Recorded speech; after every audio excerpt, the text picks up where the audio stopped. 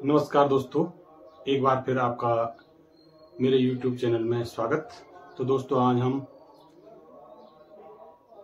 सौर्य महोत्सव में चलते हैं। यहाँ थराली ब्लॉक के चेबड़ो गाँव में एक महान योद्धा हुए। उनका नाम है भवानी देव जोशी और उनके स्मृति में यहाँ पर कई सालों से मेला लग रहा है और कुछ सालों तक बंद रहा, लेकिन अभी चौदह सालों में फिर शुरू हो गया है। तो दोस्तों, आज चलते हैं सौर्य महोत्सव में।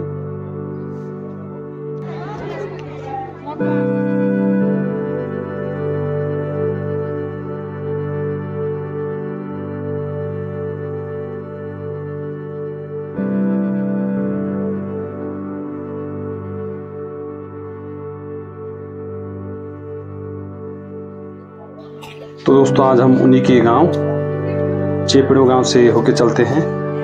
यह गाँव रोड से लगभग 500 मीटर की दूरी पर है। तो हम भी गाँव के रास्ते होके चलते हैं।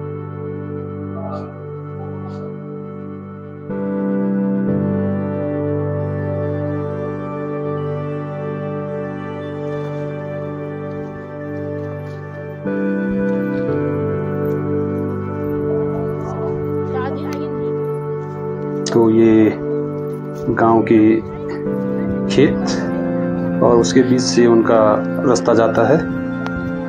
और ये रहा आपका चेपड़ो गाँव। बहुत ही सुंदर गाँव। तो दोस्तों, यहाँ पर सभी क्षेत्रवासी और ये खासकर महिलाएँ सज धज के अपनी पोशाकों में, अपने परंपरागत पोशाकों में आए हुए हैं। और ये बहुत ही सुंदर दृश्य और सभी लोग, मुख्यमंत्री जी की स्वागत में यहाँ पर खड़े और और यहाँ पर हमारे सैनिक, यहाँ पर उन्हें श्रद्धांजलि देते हुए और थोड़ी देर में मुख्यमंत्री जी भी आने वाले हैं और वो भी शहीद को श्रद्धांजलि देंगे और उसके पश्चात मेला शुरू होगा। तो आप लोग बने रहें और आपसे मेरी एक रिक्वेस्ट कि आप चैनल को सब्सक्राइब लाइक और शेयर ज़रूर करें।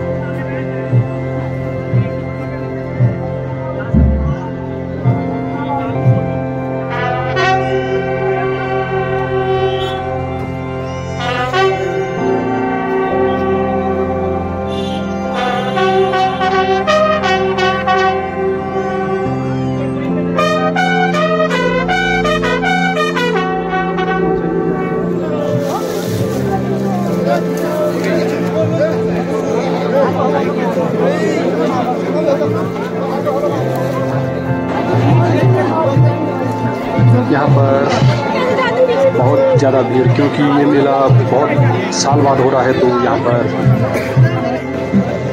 सब लोगों का एक उत्साह कि मेला फिर शुरू हो गया है। लगभग तेरह या चौदह साल हो गए और यहाँ पर ये मुख्यमंत्री जी के साथ सभी लोग जहाँ पर मेला स्थल है, वहाँ पर जाएँगे और उसके बाद मेला शुरू।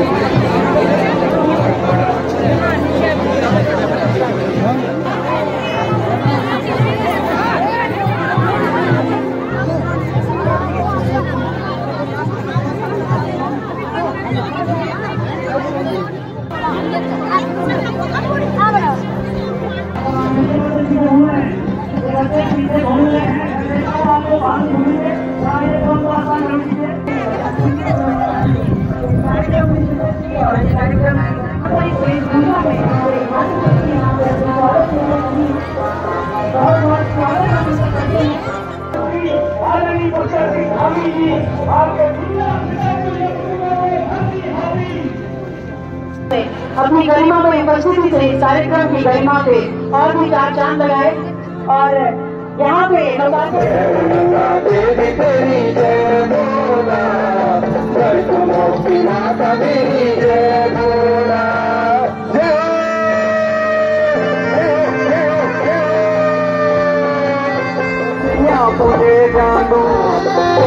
तो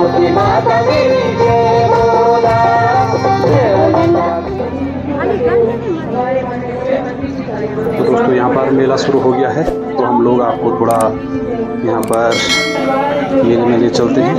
यहाँ पर कई स्टॉल लगे हुए हैं तो सभी विभाग यहाँ पर आए हुए हैं। तो आप लोग यहाँ पर देख सकते हैं, समाज कल्याण और कृषि विभाग, सभी लोग आए हुए हैं। तो यहाँ हमारे दो यहाँ पे बच्चे मौजूद हैं, कार्तिक कुमार और ऋषभ पंत। जिन्होंने की उत्तराखंड दौड़ की परीक्षा में समस्त उत्तराखंड में छठवां और सातवां स्थान प्राप्त किया है। ऐसे बच्चों को मैं मंच के माध्यम से बहुत बहुत बधाई देती हूँ। आप हमारी आने वाली कल की पीढ़ी है, कल के कल का भविष्य है। यहाँ पर सबसे महत्वपूर्ण एक आपको हम दिखाते हैं। यहाँ पर उत्तराखंडी टोपी और ये यहाँ पर जो भी ज्वेलरी होती है, जो कि महिलाओं को बहुत पसंद आते हैं तो यहाँ पर ये भाई अपने स्टॉल लगाए हुए हैं और ये पहाड़ी टोपी, जो कि आजकल बहुत ही प्रचलन में है। और यहाँ पर ये कृषि विभाग चमोली द्वारा भी यहाँ पर परंपरागत खेती का स्टॉल लगा हुआ है और हमारे हरेंद्र भाई इस बारे में बता रहे हैं। है ज़रूर रूबरू कराएँगे अपनी जीत के माध्यम से अपने हमें आप लोगों तक ना पहुँचे तो ऐसा कैसे हो सकता है मैं चाहूँगी मैम आप यहाँ पे मौजूद हैं। यहाँ पर ये कोड़ा निर्मित बिस्कुट ये भी हमारे ग्रामीण विकास द्वारा बनाया गया है और यहाँ पर कई स्वरोजगार तो यहाँ पर ये सभी लोग अपने स्टोर लगाए हुए हैं और बहुत ही अच्छा यहाँ पर सभी लोगों द्वारा और यहाँ पर ये हमारे हरेंद्र भाई आगे चल रहे हैं और ये यहाँ पर कई प्रकार के और ये कृषि विभाग द्वारा यहाँ पर खेती के लिए जो भी यंत्र हैं उनको दिखाते हुए और यहाँ पर ये हमारे हरे- हरेंद्र भाई, ये सहकारिता समूह द्वारा यहाँ पर ये स्टॉल लगा हुआ है। यहाँ पर सेना द्वारा पूर्व सैनिकों के लिए सुविधा। यहाँ पर कैंटीन की व्यवस्था भी की गई है और चिकित्सा की व्यवस्था भी। ये तो आम जनों सभी के लिए यहाँ पर उपचार की पूरी सुविधा की गई है। और यहाँ पर हम भी अब चलते हैं। थोड़ी यहाँ पर कैंटीन की व्यवस्था सेना द्वारा।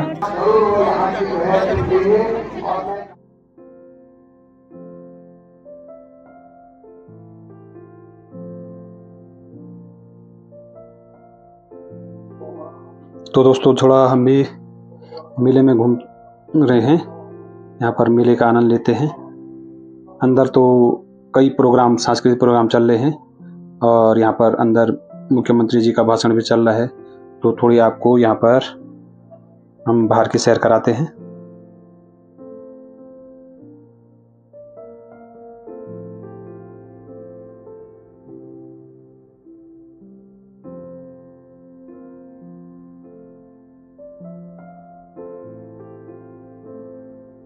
दोस्तों, यहाँ पर सेना द्वारा मुख्य आकर्षक जो होता है उनका बैक पाइपर और जो सेना की जवान होते हैं, हम उनके पास गए थे, लेकिन उन्होंने वीडियो बनाने से मना कर दिया। तो हमने भी सेना का सम्मान करते हुए ये आपको नहीं दिखाया, क्योंकि जब मना कर देते हैं तो उसके बाद कोई भी चीज़ करना ठीक नहीं, इसलिए हमने उनकी वीडियो नहीं ली। तो अब हम चलते हैं। जो भी गलती हो क्षमा चाहते हैं। और आपसे एक ही निवेदन कि आप चैनल को शेयर कर दें और लाइक भी करें और हो सके तो सब्सक्राइब भी कर दें। इसी के साथ जय हिंद।